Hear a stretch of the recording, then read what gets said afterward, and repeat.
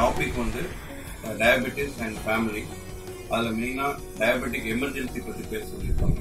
இப்போ டயபெட்டிக் எமர்ஜென்சின்னு பார்த்தீங்கன்னா nearly fifty percent diabetic patients insulin தேவையாக இருக்கும். ஸோ யூஸ்வலி இந்த இன்சுலின் போடுறதுனால லோ சுகர் வர சான்ஸ் இருக்கு. ஹைப்போகிளைசிமியா வர சான்ஸ் இருக்கு. ஸோ அது வந்து ஒரு life threatening problem for diabetic patient அது வந்து ஈஸியாக கரெக்ட் பண்ணலாம். ஸோ ஃபர்ஸ்ட் ஆஃப் ஆல் அந்த சிம்டம்ஸ் லோ சுகரோட சிம்டம்ஸ் மெயினாக தெரியணும் நம்பர் ஒன் வந்து மார் படப்பன அடிக்கிற மாதிரி இருக்கும். நம்பர் டூ வந்து உதறல் இருக்கும். நம்பர் த்ரீ வந்து வேர்வை அதிகமாக வரும். நம்பர் ஃபோர் வந்து பசி அதிகமாக இருக்கும் நம்பர் ஃபைவ் வந்து ரொம்ப டயர்டாக இருக்கும். ஸோ இந்த மாதிரி ஃபீச்சர்ஸ் இருந்தால் சுகர் டவுன் ஆகுது. உடனே நீங்கள் வந்து சுகர் பேஸ்ட் ஐட்டம்ஸ் பாலில் கொஞ்சம் ஒரு ஒரு ஸ்பூன் சுகர் போட்டு கொடுக்கலாம்.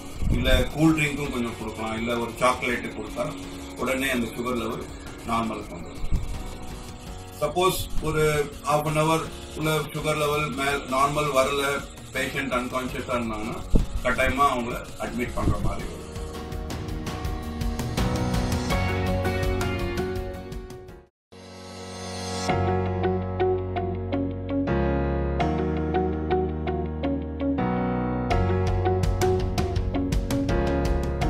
இன்னைக்கு டாபிக் வந்து ஃபேமிலி அண்ட் டயபெட்டிஸ் பற்றி அதில் மெயினாக risk of diabetes prevention of risk of diabetes passing on to next generation so அதில் பார்த்தீங்கன்னா மெயினாக வந்து லைஃப் ஸ்டைல் மாடிஃபிகேஷன் ரொம்ப முக்கியம்.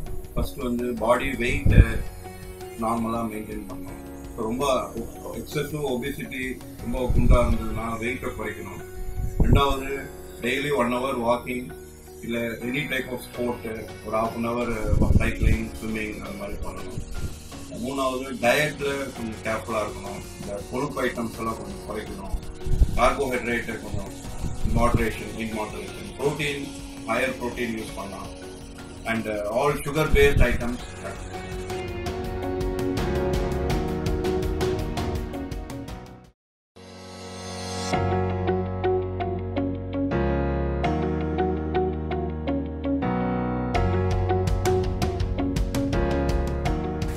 topic வந்து டைப் ஒன் டயபெட்டிஸ் பற்றி சொல்லியிருக்காங்க.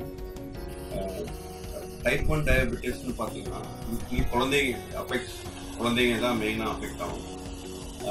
அதில் என்னென்னா மெயினாக ஒரு ஆட்டோ இம்யூன் டிசீஸ் வேறு அந்த ஆட்டோ இம்யூன் டிசீஸ்னால உங்களுக்கு அந்த பீட்டா செல்ஸ் அஃபெக்ட் ஆகி உங்களுக்கு இன்சுலின் ப்ரொடக்ஷன் கம்மியாகிடும் அதனால உங்களுக்கு சின்ன வயசுலேயே அவங்களுக்கு சுகர் வந்துடுது பேலன்ஸ் வந்து நைன்டி பர்சன்ட் வந்து autoimmune disease ten percent environmental factors அதனால் இந்த தாய்ப்பால் கொடுக்கறதுக்கு பதிலாக இந்த